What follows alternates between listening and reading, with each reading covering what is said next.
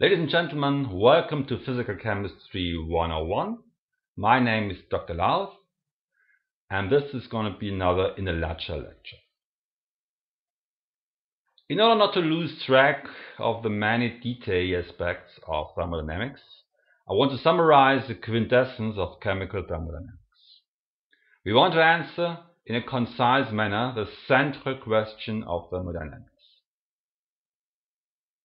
Does a process, the makeup, actually run spontaneously? And if so, how far will it run? To answer this question, we will combine the first and the second law and define a new state variable, the Gibbs free energy G. The Gibbs free energy is a measure of instability. Thermodynamics looks at the world considering both energy and entropy. First, let's have a look at the world through the energy glasses. We describe systems and processes in terms of enthalpy. Enthalpy is a measure of the amount of energy contained in a system. Each system does not only have a mass, a volume, a temperature, and so on, but also an energy or enthalpy.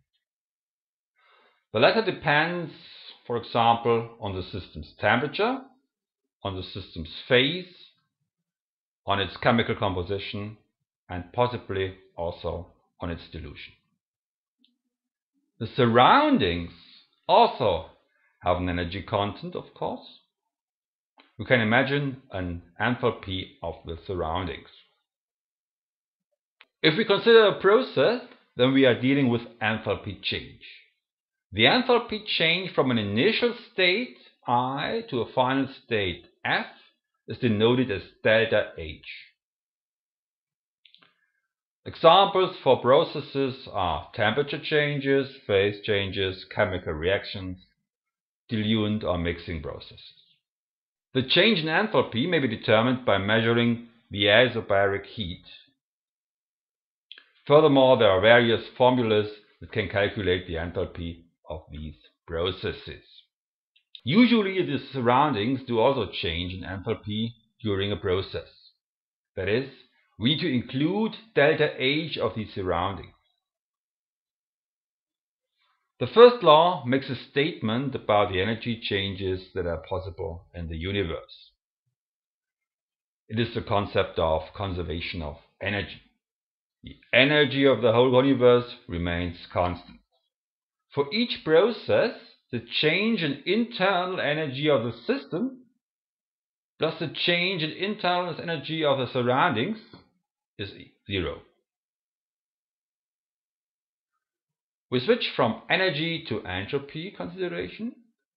Each system does not only come with a certain amount of energy, namely the enthalpy, but also with a certain degree of disorder, a certain chaos. We call this property entropy S. The entropy depends on the system's temperature, depends on its phase, on its chemical composition, and very strongly on its dilution. Of course, the surroundings uh, do have a certain degree of disorder too, which can be summarized by the entropy of the surroundings. During a process, generally the entropy of the system changes. The entropy of the final state is different from the entropy of the initial state.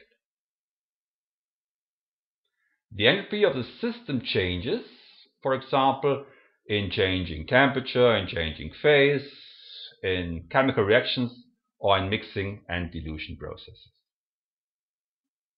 Again, we must consider not only the system, but also the surroundings. We can measure the change in entropy by dividing reversible heat by temperature, the so-called reduced heat. In addition, there are more specific equations for calculating entropy change. The second law now states that the entropy of the universe can only increase. Entropy is thus not conserved as mass or energy or angular momentum. Entropy can be produced but not destroyed.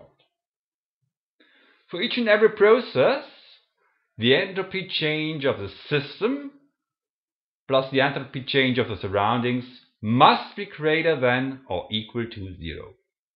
The limiting case equal to zero is called a reversible process. All other cases are irreversible. If we want to apply the first and second law in their universal form, both the system and the surroundings have to be considered. Now let's combine first and second law and seek a new state variable which contains only system properties and is a measure of whether or not a process can run. An important special case is the isothermal isobaric process. The path from the initial state to the final state takes place at constant pressure and temperature. We first distinguish strictly between system and surrounding parameters. They are here in different colors. The system temperature in an isothermal process is equal to the temperature of the surroundings. The enthalpy change of the system is equal to the negative of the enthalpy change of the surroundings and equal to the exchange T because we have an isobaric process. Thus we can substitute the entropy change of the surroundings by system parameters. Delta S surroundings is equal to negative delta H system over T system. The second law states that the total entropy of the universe can only increase. This law now can be completely expressed in system variables we obtain an equation that is equivalent to the second law and tells us that processes can only take place at a particular combination of delta S, delta H and T. We convert this equation to delta H minus T times delta S must be less than or equal to zero. Now we rename the combination H minus T times S as Gibbs free energy G. Then we come to a very simple criterion as to if an isothermal isobaric process is possible. Delta G has to be less than or equal to zero. G, in fact, is a measure of instability. G can only decrease in a process, or best stay the same, can never increase. The change in Gibbs free energy, delta G, is a measure of the affinity or the drive of a process. A great advantage of the Gibbs free energy is that we may focus on the system and may disregard the surroundings. Now we have a measure of instability of a system. We know that G will depend on temperature, on the phase, on chemical composition and on dilution, as H and S do, the variables which make up G. We can also quantify these dependencies. We now need to focus only on Gibbs free energy to say whether a process can occur spontaneously or not. The change in Gibbs free energy, delta G, corresponds to the affinity or drive of a process. If delta G is negative, the process is possible. This is called exergonic. If delta G is positive, the process is not possible. This is called endergonic. Delta G can be measured directly as reversible useful work, for example in galvanic cells. There are formulas that describe the dependence of G on temperature, pressure, the quantities of the substances involved in the system. If we now consider an arbitrary process, say the decomposition of dinitrogen tetroxide N2O4, then we start by discussing the energetic aspect. The process is endothermic, goes energetically uphill.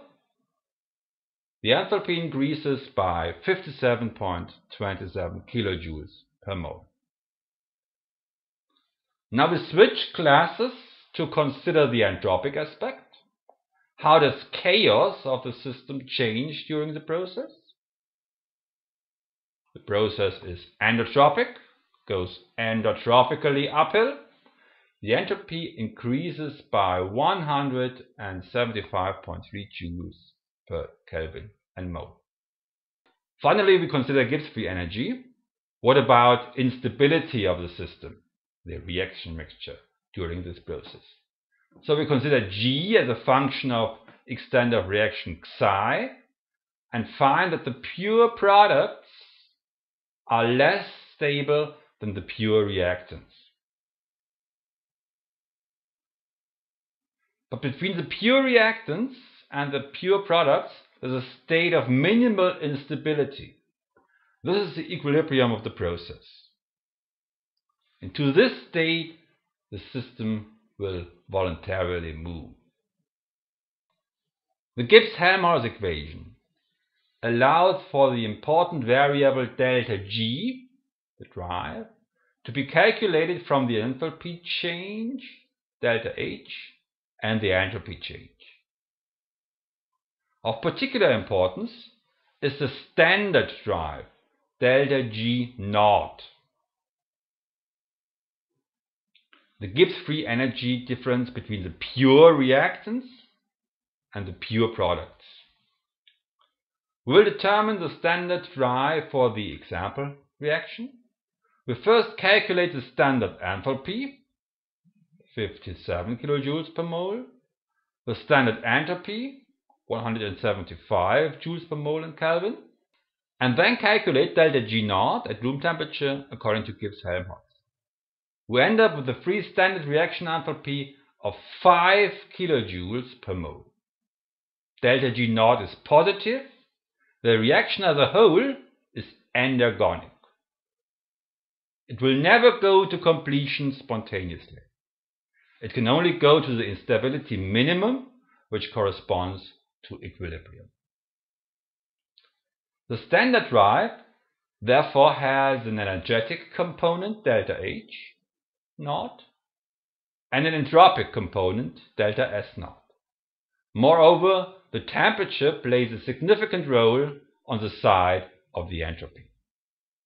The numerical value of the equilibrium constant may be calculated from the standard drive. Delta G naught is equal to negative RT logarithm K. We set the appropriate values for the decomposition reaction of dinitrogen tetroxide. Log K is negative delta G naught over RT.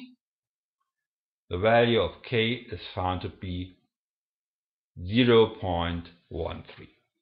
For every reaction which is as a whole endergonic, the equilibrium constant is less than 1. The equilibrium lies on the left-hand side, on the side of the reactants. To determine the unit of the equilibrium constant, we have to formulate the law of mass action. In our example, the equilibrium constant has the unit bar. The Gibbs-Helmholtz equation shows that the drive of a reaction and therefore its equilibrium constant, may be highly dependent on temperature. An exothermic reaction, which is endotropic, is always, at any temperature, exergonic, and thus may occur spontaneously. If the reaction is endothermic and exotropic, however, the reaction won't be spontaneous at any temperature. These reactions are always endergonic. In the case of an exothermic exotropic reaction, there is a ceiling temperature. Below this temperature, the equilibrium lies to the right. Above the ceiling temperature, the equilibrium lies to the left. In an endothermic endotropic reaction, the situation is reversed. There's a floor temperature below which the equilibrium lies to the left and above which the reaction will be exergonic. Here are two examples. The decomposition of limestone to calcium oxide and carbon dioxide is a typical reaction with floor temperature. At low temperature, it's endergonic and equilibrium lies to the left. It is not until about 1200 kelvins that this reaction is exergonic.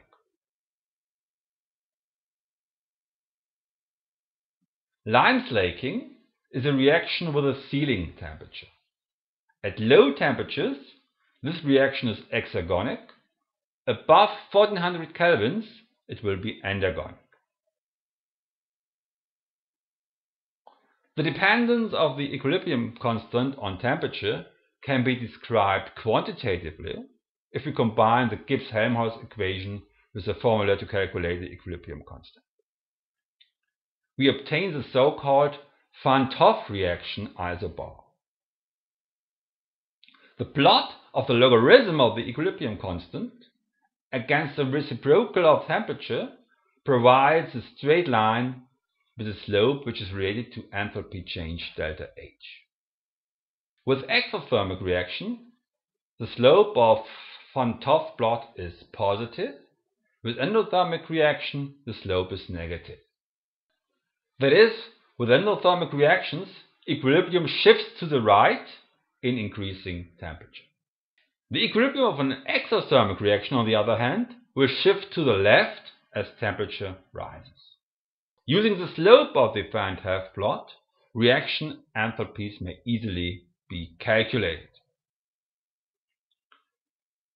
If a system in equilibrium experiences a restraint, addition or removal of heat, PV work, or amount of substance, the system shifts to counteract the imposed change and a new equilibrium is established. The reaction 2N2O4 to NO2 is endothermic. With increasing temperature, the equilibrium will shift to the right. The reaction is also endochoric. With increasing pressure, the equilibrium will shift to the left. This is the principle of Le Chatelier and Brown, sometimes called the principle of least restraint. The restraint will be consumed. Here are some examples of the application of the principle of least restraint. In exothermic reactions, increase in temperature decreases the equilibrium constant. Such a reaction should be performed at the lowest possible temperature. This applies to chemical processes, but also to physical processes. For example, the absorption of carbon dioxide in water. In endothermic processes, the situation is vice versa. They are thermodynamically favored at high temperatures and this principle applies to both chemical and physical processes too. The yield of exochoric reactions is increased by high pressure. This principle is used in ammonia synthesis, in organic hydrogenation reactions, and in gas absorption. Endochoric processes provide higher yields at a low pressure. These processes could for example be performed in a vacuum or with the addition of inert gas. Both will reduce partial pressure. Examples are dehydrogenation reactions or desorption. Generally, the yield of an equilibrium process is increased by adding of reactants in excess or removing products from the reaction mixture. For example, Esterification is favored if we use one reactant in excess or remove the water of reaction by distillation. The precipitation of calcium bicarbonate from the solution by removal of carbon dioxide from the reaction mixture is a further example of this principle. Endergonic processes do not run spontaneously. There are two possibilities to enforce such processes. One possibility is a coupling of an endergonic process to a highly exergonic process. Similar to heavy load pulling up light weight by a cable, the endergonic formation of glucose 6-phosphate can be facilitated by coupling with the exergonic decomposition of adenosine triphosphate. Another way to force an endergonic reaction is to supply Gibbs free energy in the form of useful work. The synthesis of glucose from carbon dioxide and water will never run spontaneously. Only when the free energy is provided by optical energy, the reaction proceeds as photosynthesis. A weight will never move upwards in the gravitational field of the Earth spontaneously. Supply of energy in form of heat does not change this situation. Only by supplying useful work, mechanical work to this process, it is possible to lift the weight. Similarly, it may be possible to enforce endergonic processes by appropriate supply of light or electrical energy. Let's summarize. We may calculate the drive of a reaction when we calculate Gibbs free energy delta G. Delta G can be calculated by Gibbs-Helmholtz equation from the enthalpy change delta H and the entropy change delta S. With negative delta G, we have an exergonic process that may run spontaneously. The equilibrium constant K can be calculated from the standard drive delta G naught. Thanks for watching.